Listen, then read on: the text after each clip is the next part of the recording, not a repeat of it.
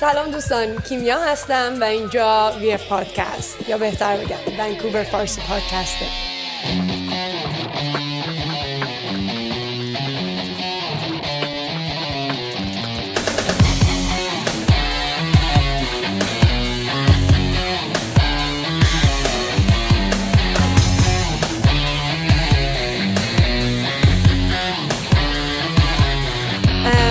امروز در خدمت یه هنرمند هستیم. آهنگساز تنظیم کننده نوازنده خواننده سبک راک جناب کاوه یغمایی کیمیا جان سلام عرض می‌کنم و درود میفرستم به تمام بینندگان عزیز. امیدوارم که تو این برنامه بتونم به بهترین نفت در خدمتتون باشم.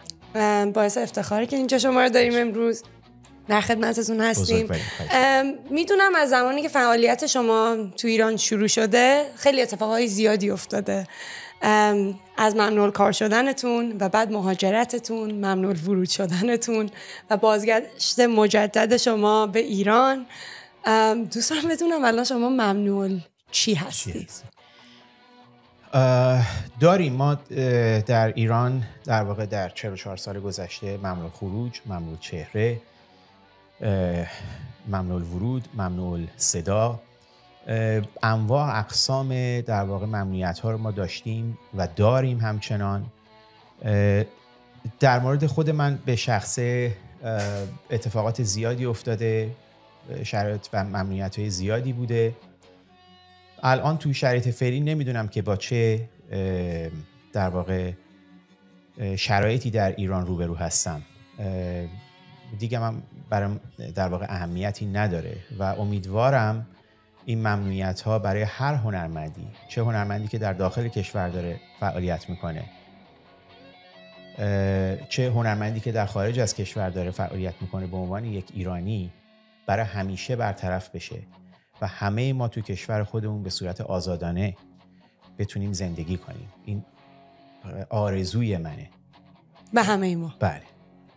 آقای اقمایی یا کاوه جون بهتر بگم. نمی‌دونم چجوری خطابت رو بهتر بشیم آیا کاوه یغمایی پدر راک ایرانه؟ نه قطعا اینطور نیست. قبل از من کسانی که راک کار کرده باشن بودن. بعد از من هم خواهند بود. من به دلیل اینکه موسیقی راک در واقع یک موسیقی ممنوعه بوده در ایران چه در زمانی که توی در واقع هنرستان موسیقی بودم خب به این نوع موزیک توجهی نمی‌شد به این نوع موزیک در واقع بی احترامی می‌شد از طرف اساتید ما حتی که کلاسیک کار می‌کردن. و پس از اون بعد از انقلاب به دلیل مدرنیتی که این موزیک داشت نسبت به سبکایی که به صورت کلاسیک ما کار می‌کردیم توی ایران یواش یواش و البته تلاشی که خانواده من توی این موسیقی کرد. این رو نمی‌تونم ندیده بگیرم از پدرم گرفته امام کامران کامبیز همینطور. خب آشنا شدم با این سبک موسیقی و یواش یواش متوجه شدم که یک شاخه اعتراض در این موسیقی وجود داره و خب تحت تاثیر شدید موسیقی کلاسیک هم هست. برای همین در ایران دیدم که شدیداً مخالفت با این موسیقی میشه و سعی کردم که من هم از این نوع موزیک دفاع کنم. به دلیل اینکه فکر می‌کنم می‌تونستم اعتراض خودم رو بیشتر و بهتر بیان بکنم. صد درصد. همچون که گفتید سبک راک اغلب با یه حالت اعتراضی ادغام شده و اصلا جزوی ازشه. می‌خوام بدونم چقدر توی زندگی واقعی شما اهل شوخی و شیطنت هستی؟ خیلی خیلی. اما من فکر می‌کنم توی شرایطی که ما هستیم الان حتی وقتی من می‌خوام عکس بگیرم همین قبل از در واقع فیلم برداری که داریم الان وقتی پرتو جان می‌گفتن که خب بخندین من دیگه به معنای واقعی احساس نمی کنم که می‌تونم بخندم. این ممکنه یک حالت بدی باشه. حتی ممکنه که بعضی به من بگن که خب شما داره دیپرشن کامل هستی که حق هم دارم که داشته باشم. به دلیل اینکه اتفاقات فوق العاده بدی رو دیدیم. قضیه چیه که توی کنسرت ها همیشه سعی می‌کنید اون انرژی خوب و مثبت رو به بیننده بدید؟ همیشه اون شوخ طبیتون رو دارید خیلی خنده رو هستید. این روی از خودتون رو برامون بیشتر توضیح بدید. دلیلش اینه که وقتی ما در ایران کنسرت رو شروع کردیم با دوستان خودم خب اون موقع در ایران اصلا کنسرتی وجود نداشت. و من یا همکارانم فکر می‌کردیم که اون موقع فکر می‌کردیم که اجرای کنسرت در ایران می‌تونه یک پیشرفت باشه برای آزادی بیشتر برای در واقع فرهنگسازی بیشتر. خب سختی های زیادی داشت چون این سیستم اول نمی‌دونست اصلا کنسرت چی هست چون در واقع اطلاعات و اصلا هیچ شرایط اجرای کنسرت در ایران وجود نداشت برای هیچ کس. سختی زیاد بود کار باید زیاد انجام می‌شد و وقتی واقعا ما می‌رسیدیم روی استیج و مردم رو می‌دیدیم که خب تشریف آوردن دارن حمایت می‌کنن به این خوبی. برای همه ما خوشحال کننده بود. لحظه خوبی بود. و این چیزیه که فکر می‌کنم بدون اینکه من بخوام روی stage خب برای بقیه هم مشخص بوده که خب روی یکی از stage ها من گفتم وقتی اومدم بالا گفتم که بالاخره انجام شد.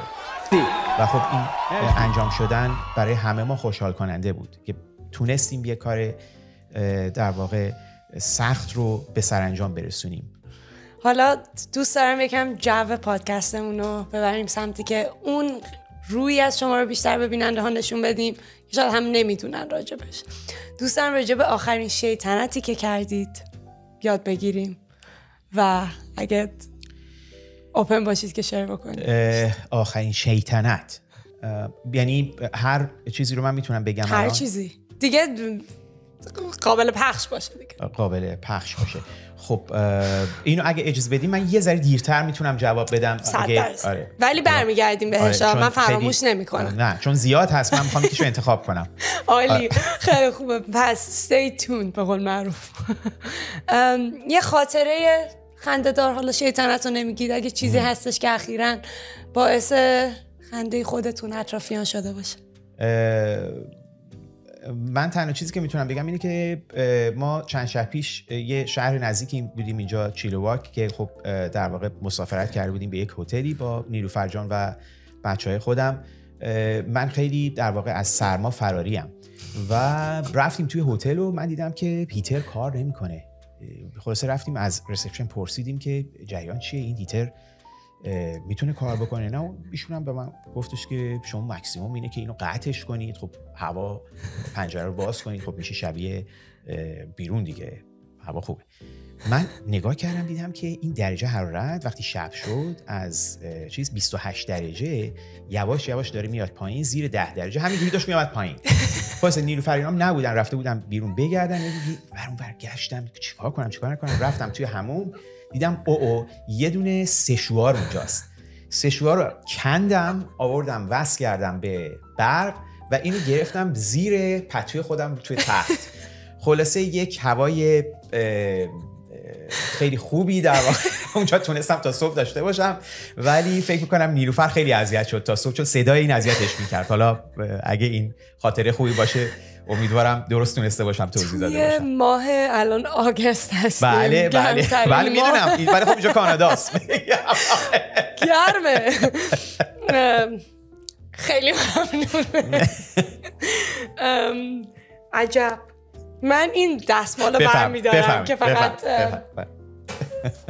نباید تکنیکال دیفیکالتی داشته باشیم به هر جهت. ولی خوب بود خاطره خیلی عالی بود. سپاس گذارم. بدونیم اگه هم سفر شدیم با هم برای شما همه آماده سفر کنیم. آره نه من دفعه یه چیزی بیاریم یه هیتر با خودم میارم. بله بله بله.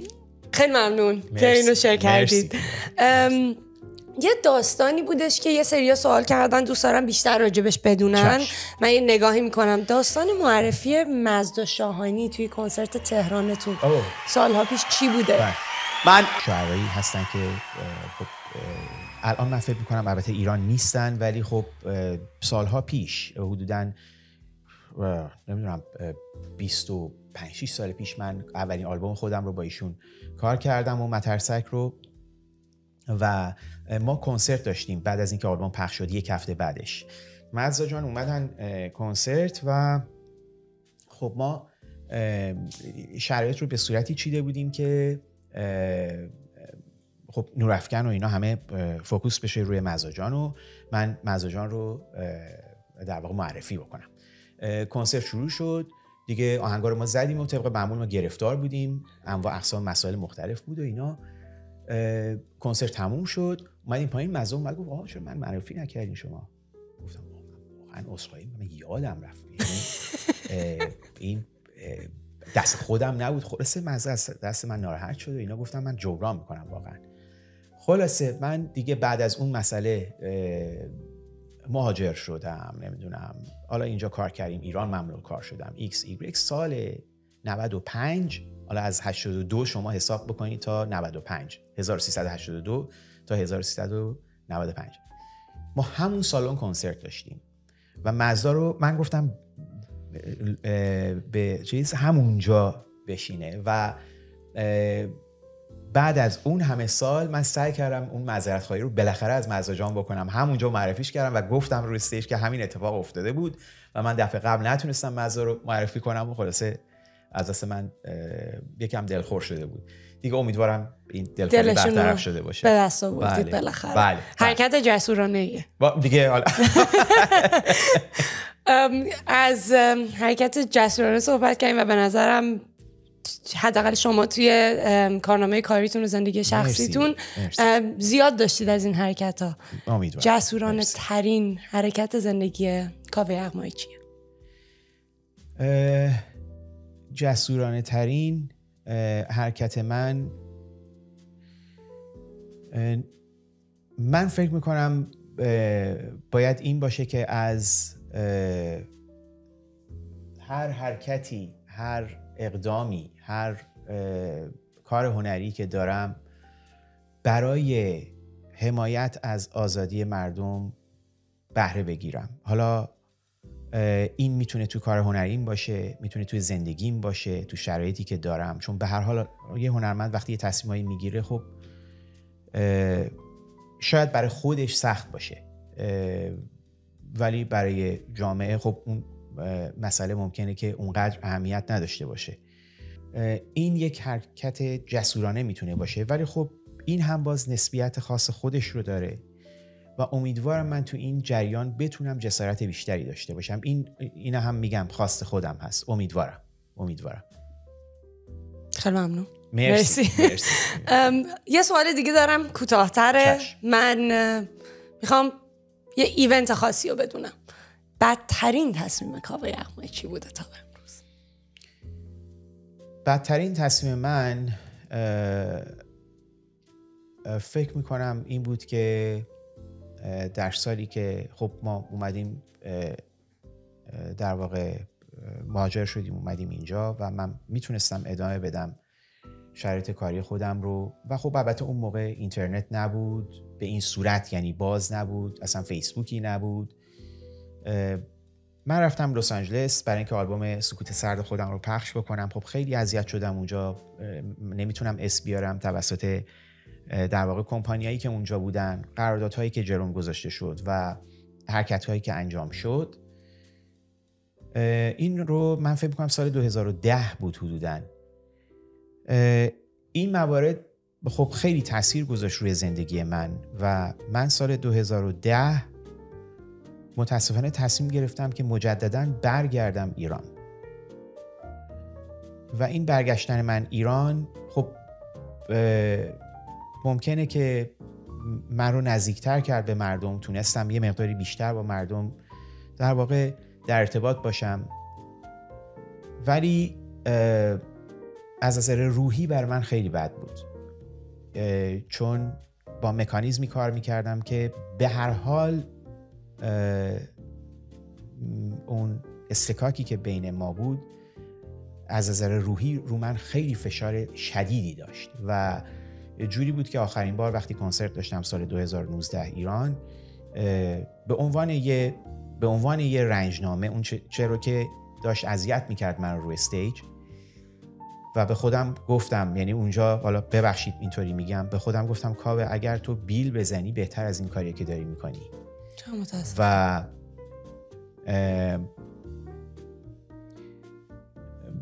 به حال با اینکه میگم مردم رو می‌دیدم و لذت میبردم از شرایطی که بود. ولی دیگه تحملش برای من سخت بود. بدون تعارف بهتون میگم. به همین دلیل من فکر می‌کنم برگشت من به ایران بزرگترین اشتباه من بود. خیلی متاسفم. فکر می‌کنم. فکر کنم بتونیم این سوال رو یه جورایی وصل بکنیم به سوال بعدی من. خواهش می‌کنم اگه امکانش هست براتون. می‌دونم خیلی بعضی سوالا شاید تا مغز استخونتون بره و بله. مسلما نداره. نه نه نه, فقط دوست دارم که جواب اگه میشه امکانش از کوتاهتر باشه که بتونم همه رو جا بدم. ولی سوال بعدی این بودش که اگه می‌تونستید دوره ای از زندگیتون رو شیفت دیلیت کنید چه دوره ای بود؟ من نمی‌خوام اسم بکنم یعنی نمی‌خوام حدس بزنم ولی فکر می‌کنم چیزی که الان راجع صحبت می‌کردید می‌تونه ربط داشته باشه. من فکر می‌کنم تمام دورانی رو که نشستم توی یک اتاق. تنها با خودم فکر کردم ناامید بودم و احساس می‌کردم که هیچ کاری از دستم بر نمیاد. به خصوص من این رو دارم به جوانای عزیزمون میگم. زمان اینکه ناامیدی توی شما وجود داشته باشه گذشته و دیگه نباید کسی احساس بکنه که هیچ کاری از دستش بر نمیاد. وقتی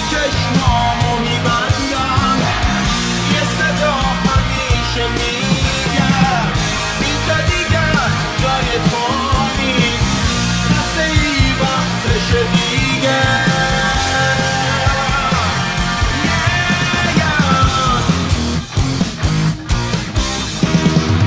بخوام برگردیم به بخش موسیقیتون که فعالیت می‌کردید می‌دونم که خب مسلما همیشه الگوهای خیلی خوبی داشتید.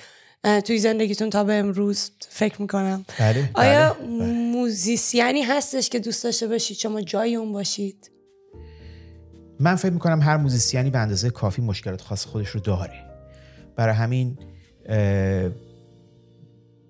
دوست ندارم جای musician دیگه ای باشم چون می‌دونم هر musician ی گرفتاری خاص خودش رو داشته تا رسیده به یک موفقیتی. اونهایی هم که خب ما نمی‌شناسیم که خب دیگه جای خود داره که من در جریانش هستم. چه مشکلاتی برای musician ها وجود داره به خصوص تو ایران به خصوص برای خانمامون. نه حاضر نیستم جای موزیسین دیگه باشم. خیلی عالی. قطعه موسیقی بوده که دلتون می‌خواد صاحب اون باشید صاحب قطعه موسیقی دیگه ای باشم که قطعه بوده که همیشه ادمایرش کردید. درسته. بهش افتخار کردید. من فکر می‌کنم که هر قطعه ای که ساخته میشه متعلق به اون روحیه و اون طرز تفکری که خودش اون قطعه رو خلق کرده حالا من البته مسئله کپی رو باید بذاریم کنار چون همه ما تاثیر می‌گیریم به هر صورت ممکن.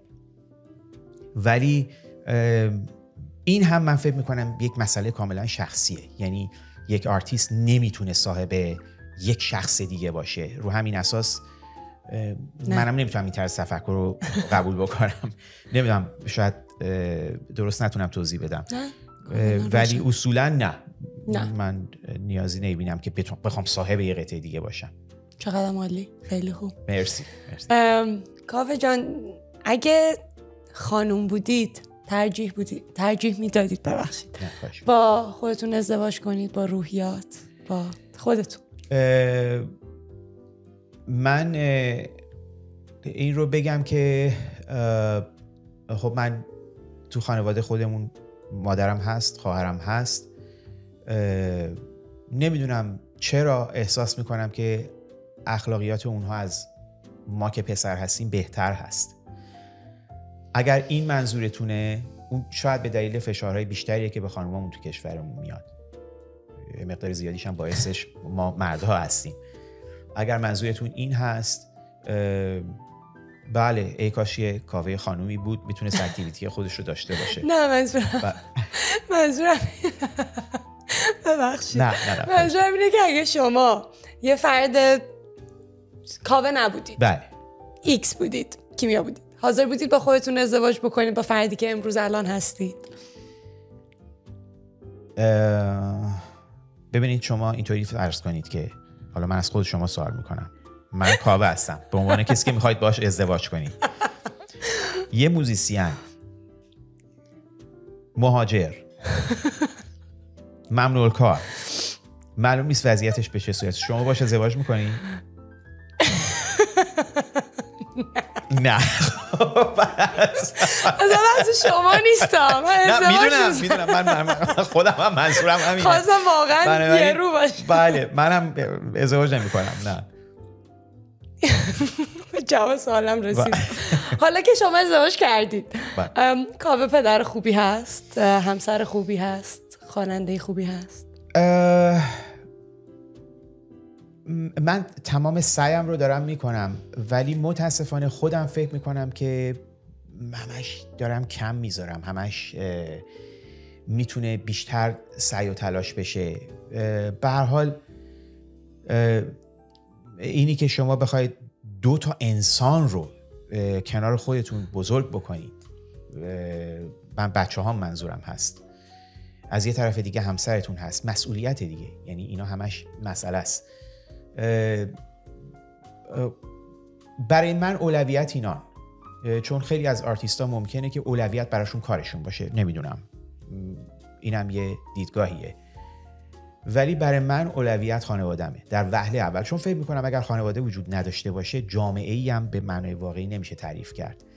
اصل قضیه از خانواده شروع میشه. و زمانی که شما دارید برای خانوادهتون تصمیم گیری می‌کنید باید اول آسایش اونا رو در نظر بگیرید. ببینید چه اتفاقی می‌خواد برای اونها بیفته. چه آینده ای برای اونها داره رقم می‌خوره. بعد تصمیم گیری های دیگهتون رو بتونید انجام بدید. حالا میگم این باز نسبی است. یعنی رو همین اساس خیلی از آرتیستا داخل کشور موندن خیلی از آرتیستا خارج از کشور موندن. خیلی هاشون اول کارشون براشون هنرشون اهمیت داره. خیلی ها براشون خانوادهشون اهمیت داره. من میگم برای خودم اولین تصمیم گیری و اولین همیشه فکری که می‌کنم راجع به اینه که برای خانوادم چه اتفاقی میفته تا الان این بوده. تا امروز. چقدر مالی؟ قابل تحمله مرسی. به نظرتون کاوه اقمایی تو زمان حال زندگی می‌کنه؟ تو زمان گذشته است؟ یا داره به آینده فکر می‌کنه و زندگی می‌کنه؟ هر ستاش. خب گذشته که در واقع شرایط عجیبی رو ما گذروندیم. آینده هم که معلوم نیست. سعیم رو من می‌کنم که تو زمان حال زندگی بکنم. امیدوارم که بتونم بیشتر این کار رو انجام بدم چون به هر حال از استرس و از اینی که آدم بتونه راحت زندگی بکنه کم می‌کنه. اینی که شما از به گذشتهتون هی فکر بکنید به آیندهتون فکر بکنید. تمام سعی من اینه که به همین الان فکر بکنم. چقدر مالی دوره ای از تاریخ وجود داره که دلتون خواستون دوره به دنیا میمدید زندگی می‌کردید. برای من خب در واقع شرایط فکر می‌کنم که 70 خیلی جالبه چون یک تغییر و تحول کلی توی در واقع آمریکا و اروپا داشت به وجود می آمد که خب موزیکی هم که من تاثیر گرفتم ازش مقداری البته چون مقدار دیگه موسیقی کلاسیک هست که رو من موثر بوده ولی خب دوره کلاسیک خب خیلی قدیمه ولی 70 رو خیلی دوست داشتم. من از نزدیک ببینم لمس کنم ببینم چی فکر می‌کردن چه اتفاقی میافتاده که این نوع هنر تونسته در واقع تشکیل پیدا کنه تشکیل. خیلی هم جالب. اگه حالا دوره سونیز بودید و موزیسین نمی‌شدید چی کار میشه من قطعا کار نقاشی انجام می‌دادم. یعنی من تصمیمم هم این بود. که گرافیک و نقاشی کار بکنم. و البته تا حدودی کارهای خب کاردستی بیشتر بگم. من با مقوا نمی‌دونم چوب اینا کارای خودم درست می‌کردم. مثلا اتومبیل درست می‌کردم موتورسیکلت درست می‌کردم نمی‌دونم چیزای مختلف.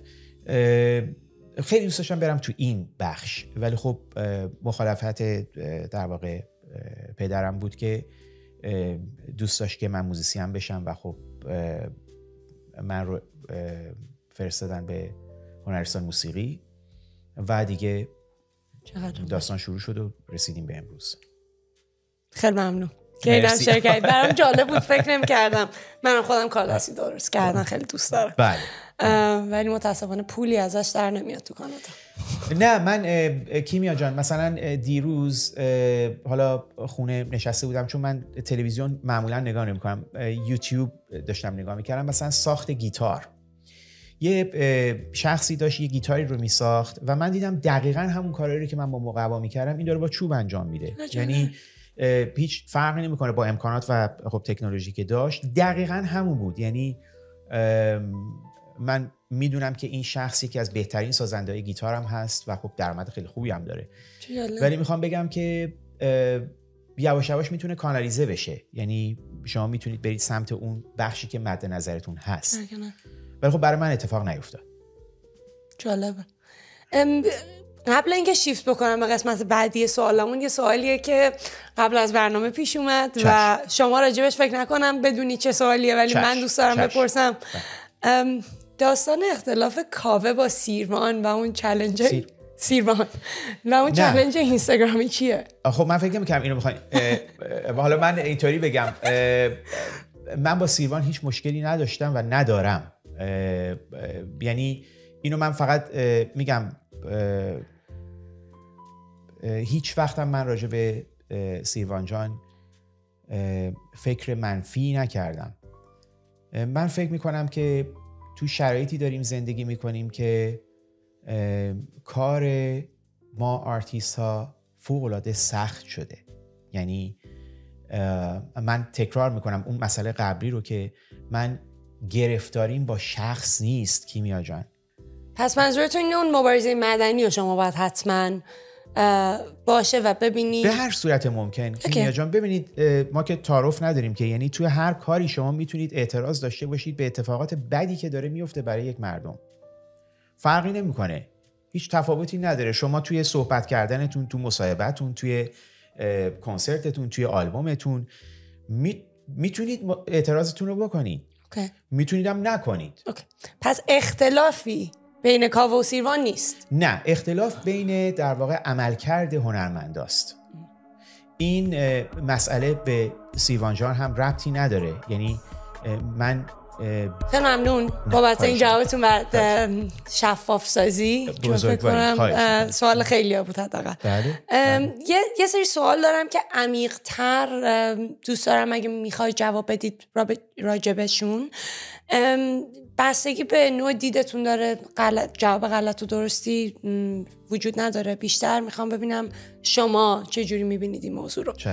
یکیش اینه که اگر برگردید به عقب فکر می‌کنید حاضری توی نسل سوخته دوباره زندگی بکنید؟ اگر برگردم به عقب خب مجبورم که توی نسل سوخته زندگی بکنم. ولی تکرار می‌کنم. دیگه فکر نمی کنم گناهکارم. و سعی می‌کنم زندگی خودم رو تغییر بدم.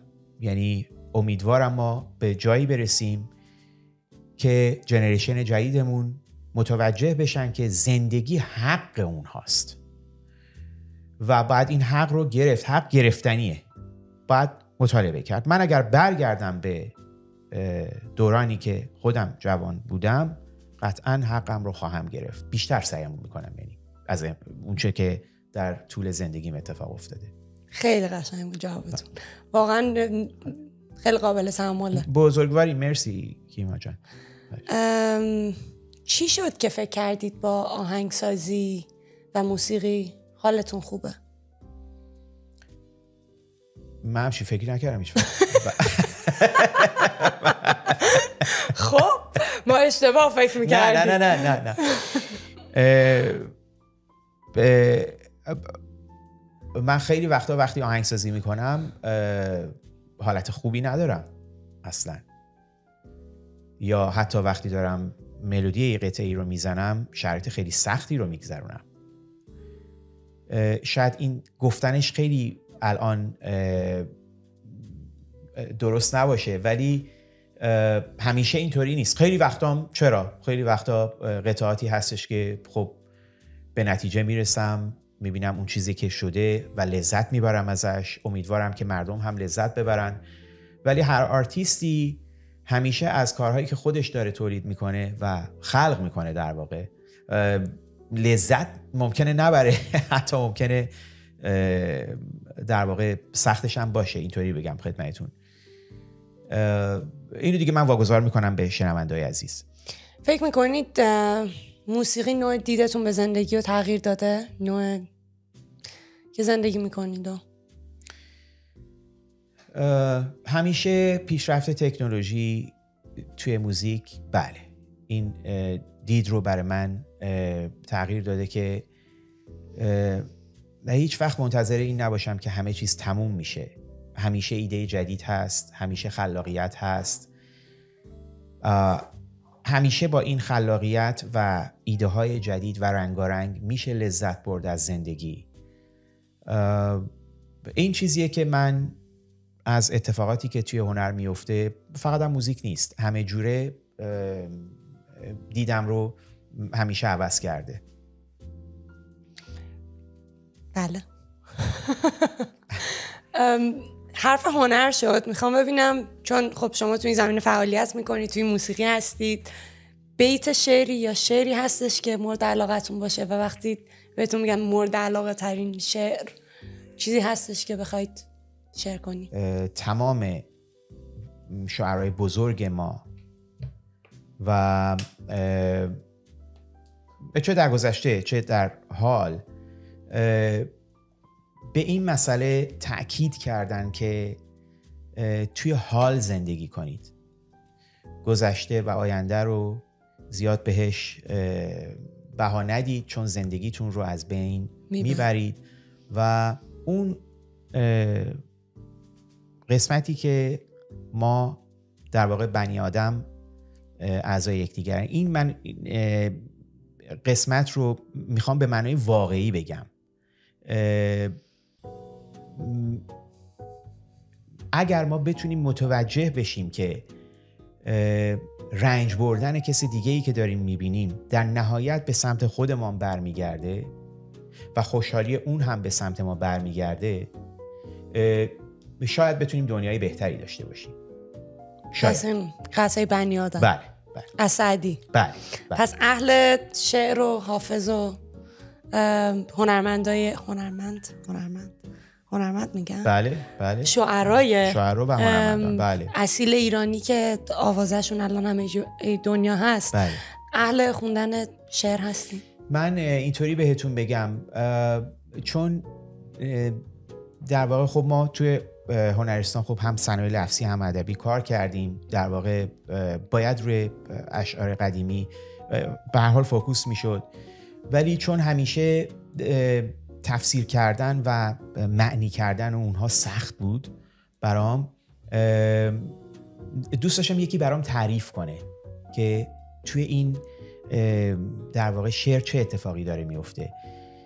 بیشترین چیزی که روی من تاثیر میذاشت موقعی بود که معلم ادبیاتمون توی هنرستان موسیقی آقای حجازی شاهنامه رو وقتی تفسیر می‌کردن. اتفاقاتی که تو میافتاد عین فیلم بود برای ما. اون موقع خیلی عجیب غریب بود برامون و از این جهت برام جالب بود. خیلی جالب بود. ولی اینکه خودم برم پیگیر اشعار کلاسیک بشم نه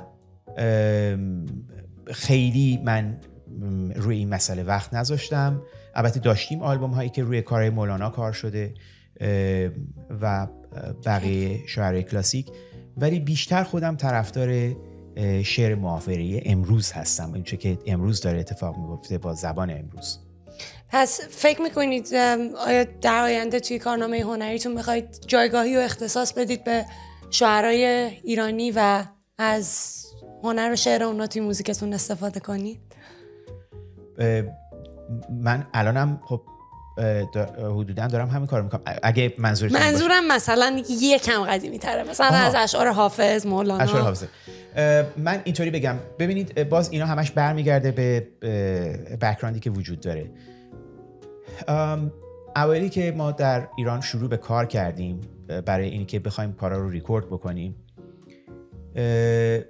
باز میگم ببینید اینا همش برمیگرده به سختی هایی که توی کار وجود داشت یکی از مشکلاتی که برای ما وجود داشت این بود که اگر می‌خواستید شما از ترانه مدرنی استفاده بکنید هم باید هزینه می‌کردید. چون اون شاعر زنده بود. هم باید سختیشو میکشیدی اصلا برید مجوز می‌گیره این کار یا نه؟ ولی روی اشعار کلاسیک این سختی وجود نداشت. برای همین من بیشتر می‌رفتم سمت اینکه بتونم رو کارهای مدرن کار بکنم. خیلی از بچه ها این کارو نمی‌کردن. یعنی می‌رفتن سراغ اشعار کلاسیک چون سختی خاصی نداشت راحتتر مجوز می‌گرفتن. هزینه ای نباید می‌شد. اون موقع دارم میگم. برای همین اون موقع من تصور می‌کردم که خب اگر من بخوام روی این مسئله تاکید بکنم یه راه سیف سایده برای همین چلنجش کمه. متوجه شدم. بله. چقدر جالب. آیا کاور یغمایی آهنگای راکی که الان در حال حاضر تو ایران پخش میشه رو گوش میدن؟ مدت ها هستش که از در واقع در اون درصد موزیک کمتری من لذت می‌برم. به دلیل خاطرات به دلیل اتفاقاتی که در گذشته بوده یا شرایطی که بوده. برای همین به ندرت موزیکی هستش که من ازش لذت ببرم. اصلا فرقی نمی‌کنه. یعنی چه داخل ایران چه خارج از ایران. چون من اینو محدودش نمی‌کنم. ولی پیگیرش هستم. پیگیر کارهای جدید هستم که بتونم گوش بکنم. ولی خب متاسفانه این بعد مسافت هم یه مقداری خب شرایط رو برای من سختتر می‌کنه. به این جمله الان ما قبل از مصاحبه خب یه خانومی داشتن میخوندن ایرانی هم بودن خوبم میخوندن من نمیشناختم. یعنی نمی‌دونستم که ایشون کی هستن. ولی خیلی خوب داریم ما. خیلی خوب خیلی. داریم. اما خب بعدم داریم. شرایط سختی داریم. نه. بعد که خب همیشه هست. ولی مهم اینه که خوبهای ما جایی برای دو شدن ندارن. یک ما دو نمیشه توی این مملکت. یعنی شما هیچ صنعتی وجود نداره که بتونه شما رو پشتیبانی بکنه و شما بتونید حداقل کارتون ادامه بدین. حالا خانوما که جای خود داره دیگه. یعنی از این جهت من تاکید می‌کنم که اگر هم من موزیک بدی بشنوم از داخل ایران توقعی ندارم که بگم که او چرا این بده چرا نمی‌دونم موزیک بد شده چرا اینقدر افتضاح. هر کسی که داره موزیک کار می‌کنه و هنر کار می‌کنه به نظر من باید حمایت بشه. حالا نظرمه. امیدوارم که سختش دارید می‌کنید. من می‌خواستم الان از بهترین و بدترین آرتیست راک ایرانی از نظر شما بپرسم. و الان شما میگید بد وجود نداره. نکنید این کار دیگه. به نظر شما بهترین آرتیست راک ایرانی کیه از نظر کاوه بهترین آرتیست راک ایران. خب ببینید من اگر بخوام الان اینجا نظر شخصی خودم رو بگم خب قطعا میگم کوروش. یعنی در واقع کوروش جز کساییه که فارغ از اینکه پدر من هست خب من خودم تاثیر زیادی ازش گرفتم. عموی خودم همینطور. آرتیست های دیگه ای در ایران بودن که خب بالاخره میشه ازشون نام برد. ولی می‌خوام این رو خدمتون عرض بکنم که بحث من اصلا بحث بهترین یا بدترین یه ذره اشتباه یعنی مقایسه کردن دوتا آرتیست با هم اصلا کار اشتباهیه. مثلا الان ما بخوایم مثلا کوروش رو مقایسه کنیم با کامران. خب هم عموی منه برادر کوروش هست. یا کامران رو مقایسه کنیم با مثلا من. می‌دونید منظورم چیه؟ من اولین باری که رفتم هنرستان حالا به زور که ما رو فرستادن اونجا من معلمم یه چیزی رو داد ما کار بکنیم. یه حالا ملودی رو باید درست می‌کردیم و مینوشتیم و اینا. بعد خب به من یه نمره ای داد به بغل دست. ما چهار نفر بودیم کلا. به بغل دستیم هم همینطور اینا. من اونجا از خودم سوال کردم که مگه میشه واقعا به به هنر نمره داد؟ بر اساس چه معیاری داره این نمره داده میشه؟ صرفا نظر شخصیش. نظر شخصی. برای همین توی دانشگاه علمی کاربردی که حالا یه مدت یه دوره بود که من تدریس می‌کردم اونجا من یادمه که من این دفتر تو نمره رو تو امتحانات وقتی بچه ها میمدن تو من برمیگردوندم. حالا بچه‌ای که اونجا بودن یادشونه. می‌گفتم نمرتون خودتون بذارید. چقدر قشنگ. و اونا نمرهشون حالا یکی میذاش 16 یکی میذاش 20 نمی‌دونم. ولی عقیده چون از منم خب سوال می‌کردم برای چی این کارو می‌کنی؟ حالا ایراد می‌گرفتن یعنی. من گفتم اینا تازه بعد از اینکه از دانشگاه بیان بیرون با اون مبالغی که اون موقع می‌دادن مبلغ خیلی هنگفتی که پرداخت می‌کردن تازه با مشکلات روبرو میشن. که چی کار باید بکنن؟ و هر کسی جای خودشه. هیچ کس نمی‌تونه با اون یکی مقایسه بشه. برای همین بهتره که ما من فکر می‌کنم بهترین یا بدترین رو حتی تو این idol ایی که من می‌بینم گذاشته میشه. من اینو اعلام می‌کنم. من همیشه نظرم اینه که به جای بهترین و بدترین بیایم کپی و originality رو در نظر بگیریم. درست. که کی کپیه و کی اوریجیناله. چیزی که تو کشور ما سالهاست از بین رفته. یا تضعیف شده. به دلایل مختلف به دلیل فیلتراسیونی که داخل کشور هست. البته منظور هنرمندا نیست. منظور اینه که اوریجینالیتی شخصیت واقعی انسانه. پس بد و خوبی برای شخصیت واقعی اورجینال انسان وجود نداره. نه دیگه شما الان مثلا می‌تونید بتوون رو با باخ مقایسه کنید بگید بتوون بهتره. ولی کار صحیحی نیست نه. چون باخ هم باخ دیگه کارش که نمی‌تونید بکنیم که. برای همین مقایسه کردن در هنر به نظر من کار فوق العاده اشتباهیه. مقایسه نکن. حالا هر جایی که میگم دیگه من سوالای بعدی رو نپرسم میگم بریم پایین. نه نه نه نه می‌تونی بپرسیم. منظورم اون نیست. نه شوخی می‌کنم. ولی خیلی ممنون. خیلی جواب کاملی بود و واقعا هیچ چپ و راستی ازش نمی‌تونم برم. پس میرم سراغ سوال بعدی. اگه بخواید پیشنهاد همکاری به یه آرتیست ایرانی بدید کی هست؟ به آرتیست ایرانی. پیشنهاد همکاری بدید. باش کار کن. خب آرتیستی که الان بتونم باش کار کنم یا نتونم باش کار کنم؟ چون خب ببینید یه دنیای رنگی پنبه زندگی می‌کنیم که شما با هر کسی بخواید می‌تونید پیشنهاد کاری بدید و کار کنید. کیه اون فرد؟ اسم. توماج. mic drop. توماج چراش هم دیگه حالا بعدا صحبتش می‌کنیم آیا امکان حضور آرتیست مهمون تو کنسرت های شما وجود داره؟ همیشه بوده این در واقع افتخار من بوده که خب خیلی از بچه ها من باشون کار کردم ولی من هیچ وقت اعلام نمی کنم قبلش. یعنی دلیلم داره. برای اینکه خب کسایی که میان کنسرت ممکنه که بگن خب ما داریم میریم کنسرت کاوه. و دلیل نداره که بیا آرتیست دیگه بیاد تو کنسرت. یعنی همیشه دوست دارم سورپرایز باشه این موضوع. آخه چه قشنگ. چه جالب. بین آرتیست هایی که توی رپ و پاپ و ایرونی و غیر ایرونی هستن به نظر شما حداقل اخیرا کی تاثیرگذارترین هنرمند بوده؟ تاثیرگذارترین؟ یکی از تاثیرگذارها رو می‌تونم توماج مثال بزنم.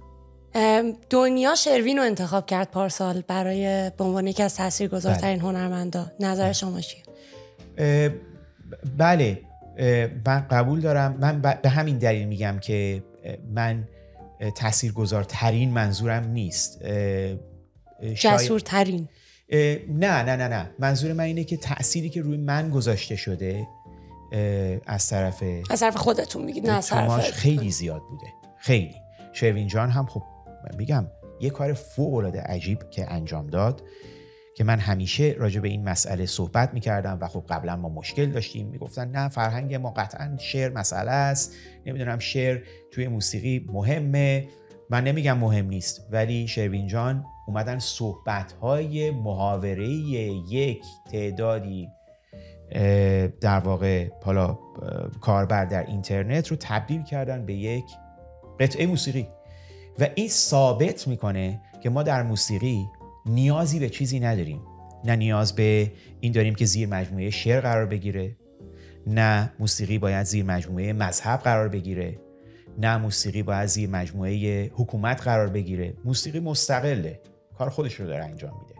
برای همین من فکر می‌کنم شروین جان از این جهت کار خیلی بزرگی انجام داد. خیلی بزرگ مسئله رو من تاکید می‌کنم که ما در موسیقی نیاز به صنایع لفظی و ادبی به این معنا شعر محور به این صورت نیاز نداره موسیقی کار مستقل هست و می‌تونه خودش در واقع تاثیرگذار باشه. با هر ایده ای که هنرمندانه یک آرتیست می‌تونه انتخاب بکنه مثل شروین درسته هر ایده می‌تونه بله. باشه بله. خیلی عالی البته حسودی شد که چرا این ایده به فکر من نرسیده خیلی خیلی unique بود و واقعا دنیا رو تکون داد بله بله. assumption بزرگی نیست ولی بله. واقعا میشه گفت بله. دنیا رو تکون بله صد درصد تا چقدر خودتون رو توی موزیکی که توی موسیقی که الان انجام می‌دید خود ساخته می‌دونید. آیا قسمتیشو مدیون بکراند خانوادگیتون پدرتون امواتون هستید؟ صد درصد. صد درصد. من من همیشه در واقع وقتی کار می‌کنم میگم باز تکرار می‌کنم. دلیل اینی که من خب خیلی وقتا اون کاری رو که دارم انجام میدم شاید اون قدری که باید لذت ببره. یه نفری که کسی دیگه ای تو خونش موزیک کار نکرده هیچ بکراندی نداره خب اون ممکنه راحت تر باشه. برای من همش خاطر است. همش یک اتفاق عجیب غریبیه که در گذشته افتاده. بله خانواده من خیلی موثر بوده روم و هست. همچنانم امیدوارم هم که به زودی بتونم ببینمشون. چقدر قشنگ. منم همینطور. منم امیدوارم هر کسی که از خانوادهش دوره و دوست داره کنار خانوادهش باشه بتونه اون شرایط فراهم بشه که بتونن دوباره کنار هم قرار بگیرن. چه میزان احتمال برگزاری کنسرت کاوه یغمایی با حضور ارکستر سمفونیک و ایجاد قطعات جدید با فضای جدید تو آینده وجود داره؟ زیاد. خیلی زیاد. برای اینکه من تخصص اصلی موسیقی کلاسیک بوده. و از چهارم دبستان خب من رفتم کنسرواتوار تهران و همیشه این مسئله برام مهم بوده. ولی خب ببینید اجرا با ارکستر سمفونیک نیاز به این داره که شما از نظر در واقع آمادگی کار بتونید یه کار جدیدی رو یه ترکیب جدیدی, رو به وجود بیارید. این کار رو من سعی داشتم با حالا میگم اینجا نمی‌تونم اسم بیارم ولی در ایران قرار بود که انجام بدم. متاسفانه تو اون دوره نشد به دلیل اینکه اون دوره ممنوع کار بودم. قرار بود که این کار انجام بشه. امیدوارم که بتونم این طرح رو پیاده بکنم چون برای خودم خیلی جذابه. این ترکیب یعنی ترکیب ارکستر سمفونیک ارکستر راک و الکترونیک میوزیک این ستا برای من خیلی جذابه که حالا میگم طرحهای خوبی توی ذهنم هست که امیدوارم هر چه زودتر بتونم برای مردم پیاده کنم. پس منتظر باشید بله بله صد درصد خیلی عالی خیلی خیلی خوب. با مهاجرتتون به خارج از ایران مقدار خیلی زیادی از طرفداراتون از داشتن کنسرت های شما محروم شدن. آیا پلن خاصی برنامه خاصی دارید که یه کنسرت آنلاین اجرا بکنید کنسرت آنلاین خب باز میگم برای من یادآور خاطرات کرونا هست که دوره خوبی نبود. و کنسرت اصولا معنیش اینه که شما مستقیم با مردم در تماس باشین. حالا این عقیده منه البته. یعنی اون اتفاقاتی که توی کنسرت میفته به صورت improvise حالا یه چیزی خراب میشه یه چیزی رو خوب می‌زنید خیلی لذت می‌برید. reaction خود مردم. این معنی کنسرت فکر می‌کنم. یعنی engagement دقیقا. فارغ از این دیگه میشه ضبط استودیویی. میشه این کار کرد. ولی من امیدوارم که برای کسانی که در داخل ایران هستن به زودی بتونم کنسرت بدم. این این آرزوی منه. اونم کنسرتی که همه مردم رو بتونم از نزدیک ببینم و لمس کنم.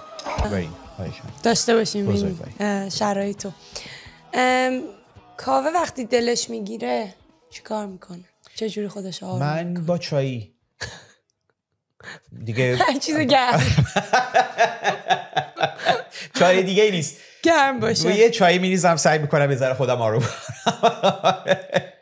چی باعث افسردگی کاوه میشه؟ فکر می‌کنم اولین چیزی که باعث افسردگی من میشه دوری از خانوادمه یعنی اینو, اینو متوجه شدم. خانواده نزدیکم یعنی نیلوفر و بچه ها دیگه بعد اون دیگه ستپ بای استپ چیزای متفاوتی وجود داره. دلت برای کوروش تنگ میشه کاوه جان؟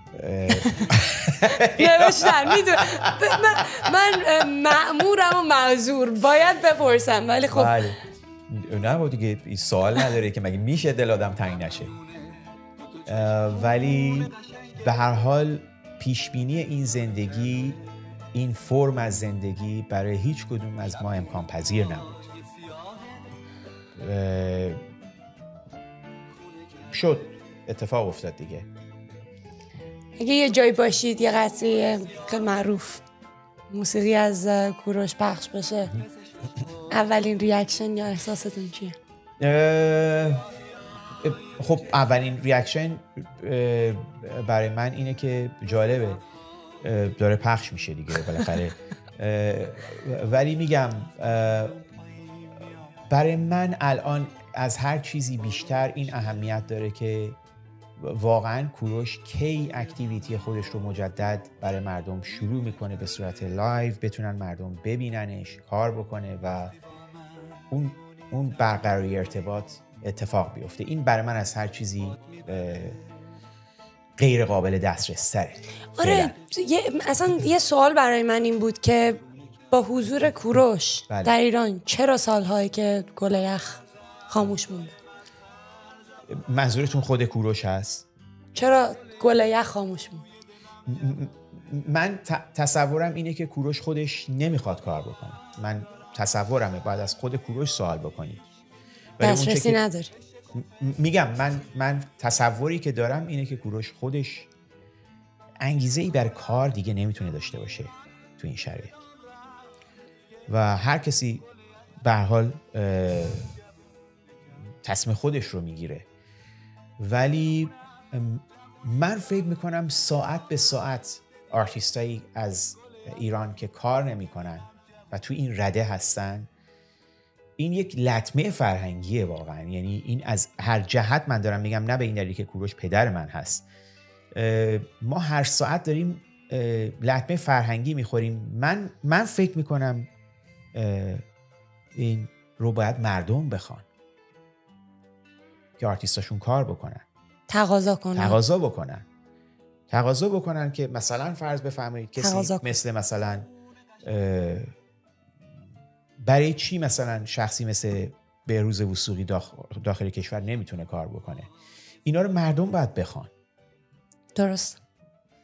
خیلی ممنون. من من واقعا حالا اینو جدی نمیگم چون تو برنامه داره زد میشه. خیلی استفاده کردم چون هیچ وقت ما فضای فکری هنرمند اونقدر نمیشنویم راجبش. بیشتر موسیقی شو کنسرت شو ولی خب خوبه که بدونیم همچین چیزی وجود داره و اینجوری فکر می‌کنه یه نفر مثل کاوه. حرفی ندارم برای گفتن. سپاسگزارم. فقط یه سری کلمه دارم بله. که دوست دارم. من یه کلمه میگم و نظر شما رو توی یه کلمه راجع اون کلمه یه کلمه.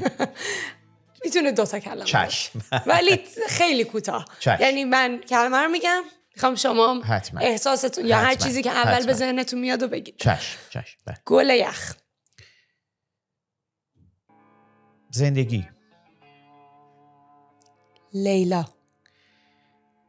کدوم لیلا؟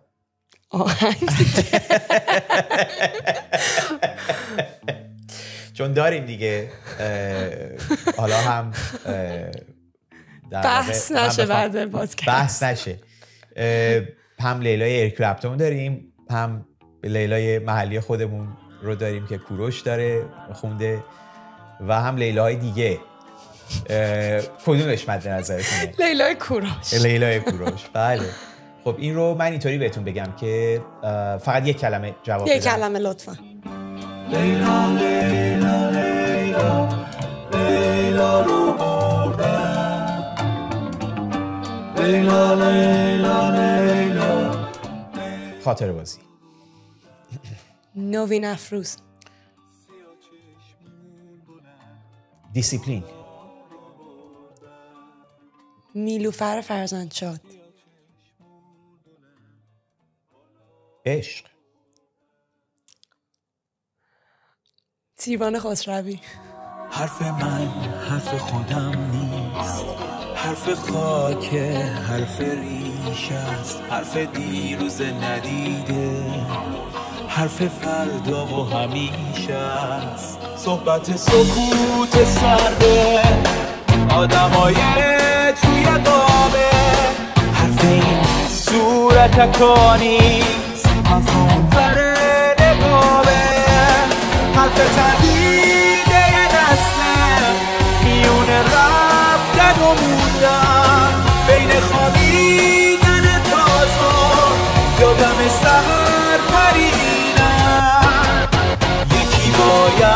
باید بگه آخر من و تو کجای کاری. وسط یه راه روشن یا هنوزم توی باری. یکی باید بگه آخر چرا رنگ ما پریده؟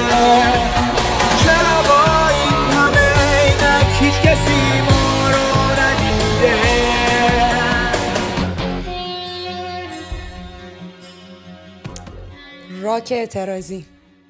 اه،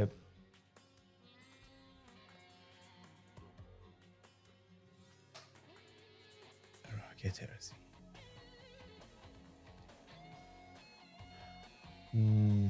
مبارزه. مترسک. مردم خاکستری.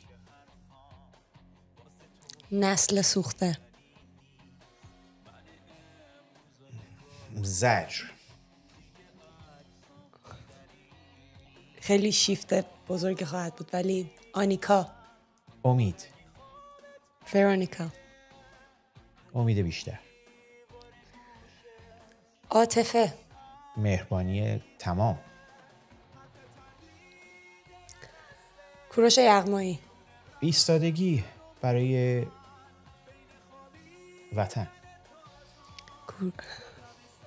کوروش کبیر. حقیقت. مهاجرت. زندگی دوباره. مرسی. یه سری سوال دیگه می‌پرسم. شما الان ببخشید اگه خستتون کردم. نه نه نه نه نه. یه سری سوال می‌پرسم. بازم یه کلمه ایه ولی من برای من سوال یه کلمه برای من نیست ولی شما می‌تونید در حد یه کلمه یا دو کلمه جوابم بدید. کاوه یغمایی اگر ساز بود چه سازی بود؟ گیتار الکتریک. می‌دونستم. اگر احساس بود چه حسی بود؟ امید. اینم می‌دونستم. اگر ترانه بود چه ترانه بود؟ ای ایران.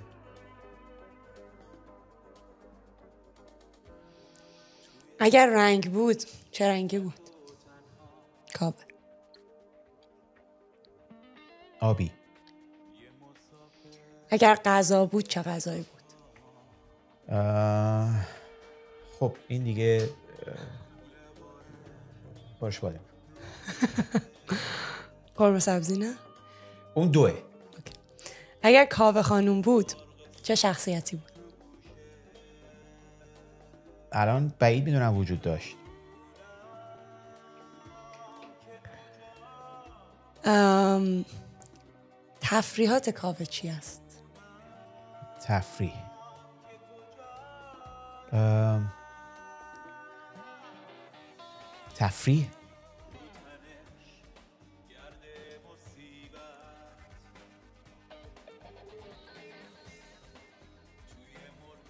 دیدن خوشحالی خانواده. چه قشنگ بهترین کتابی که کاوه خونده. 1984 خیلی قشنگه اون کتاب. بهترین فیلمی که کاوه دیده. ستار وارز بازیگر مورد علاقه کابه ترجیحاً ایرانی. ایرانی؟ ترجیحاً. حالا می‌تونید بعدش غیر ایرانی. سوسن تسلیم. غیر ایرانی.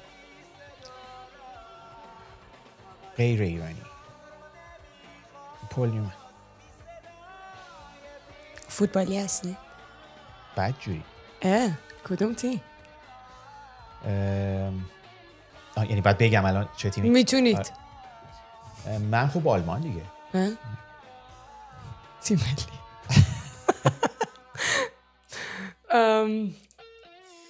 البته بعد از ایران ها بگم. ایران رو در نظر نگیرید. آلمان. اگه بخواید به هنرمند جوونی که هنرمند جوون.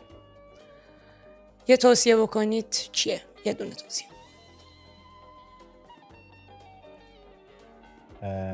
به هنرمند جوان.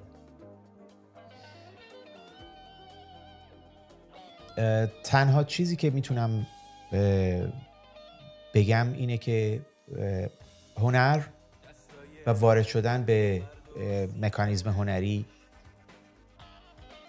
خیلی سختتر از اون چیزیه که همه تصورشون می‌کنن. خیلی کار خشنیه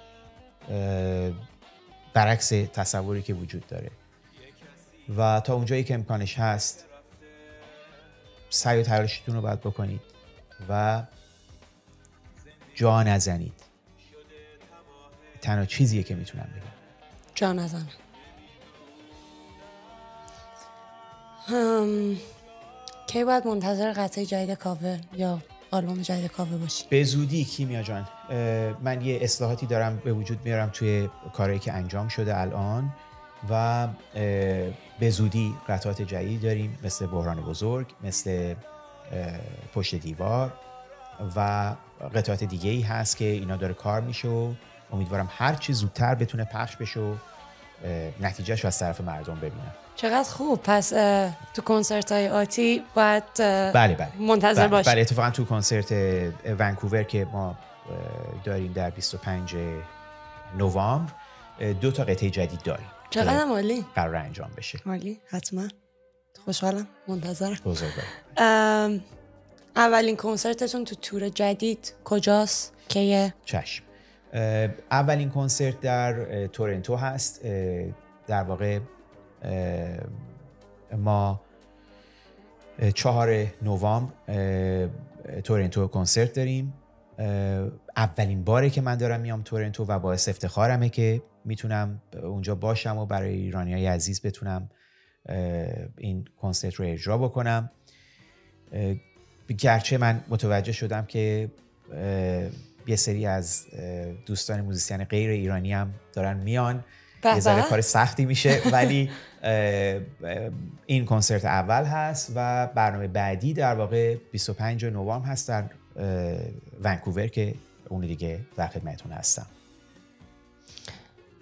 خیلی براش آماده و منتظر و مشتاقیم مرسی مرسی حداقل. من. می‌تونم از سمت مرسی. خودم و تیممون این حرف رو بزنم ولی برام جای سواله که چجوری فکر می‌کنید ایرونی های حداقل ونکوور می‌تونن همدیگر رو حمایت کنن چه جوری باید این حمایت رو نشون بدن مردم نسبت به هنرمند و بالعکس هنرمند نسبت به مردم